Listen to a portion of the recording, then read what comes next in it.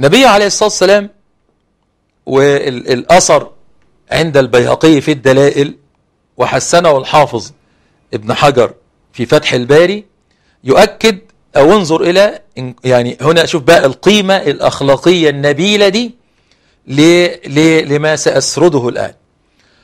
النبي عليه الصلاة والسلام لما رأى النساء يضربن الخيل وجوه الخيل بالخمر بأخمرتهن فإنه قال لأبي بكر رضي الله عنه يا أبا بكر ماذا قال حسان؟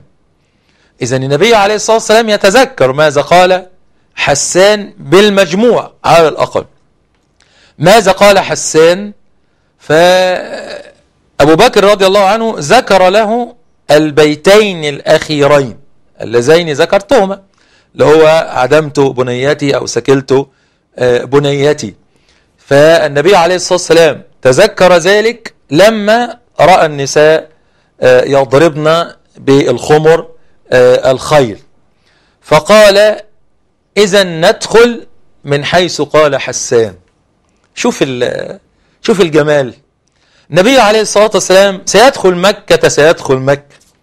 وسيدخل مكة من أعلاها كما قسم الجيش في مر الزهران وبينا وسيدخل خالد بن وليد رضي الله عنه من أسفلها.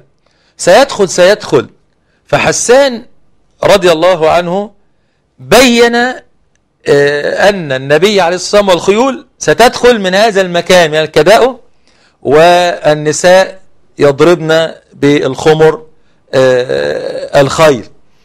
فالنبي عليه الصلاة والسلام قال إذا ندخل من حيث قال حسان. هل حسان يعلم الغيب؟ لا. لا يعلم الغيب. إنما لابد أن نتذكر أن النبي عليه الصلاة والسلام قال له والحديث في الصحيح قال لحسان أهجهم وجبريل معك عليه السلام.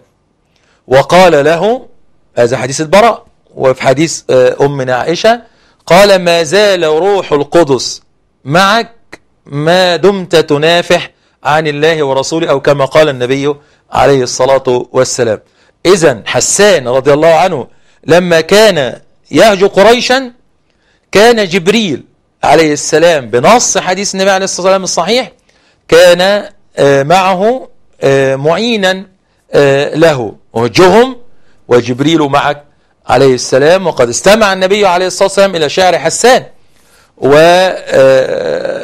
سمعه أقر كلام كلام حسان. فالنبي عليه الصلاة والسلام وهذا من المعاني الجميلة الحقيقة التي يعني توقفت عندها أن النبي عليه الصلاة والسلام سيدخل مكة سيدخل مكة فما أجمل أن يدخل من المكان الذي قال فيه حسان شعرا وأيضا طارت القصيدة بين الركبان وانتشرت على الألسنة وأدت إلى صمت قريش عن سب النبي صلى الله عليه وسلم. معاني جميلة في الحقيقة وقيمة أخلاقية عالية ونبيلة من نبينا صلى الله عليه وسلم.